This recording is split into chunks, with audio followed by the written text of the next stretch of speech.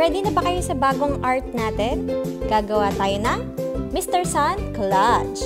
Kailangan natin ng mga sumusunod. Kailangan natin ng paper plate.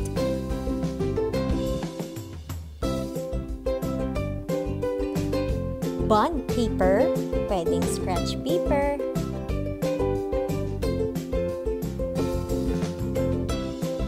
yellow colored paper,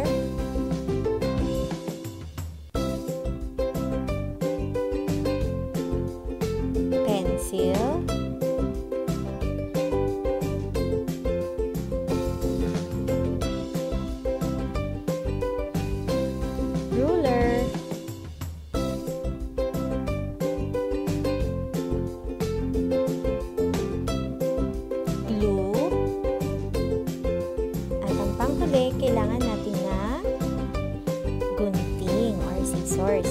Paalala ulit, mag-ingat sa paggamit ng gunting, magpatulong sa nakakatanda. Ready na ba kayo? Simulan na natin!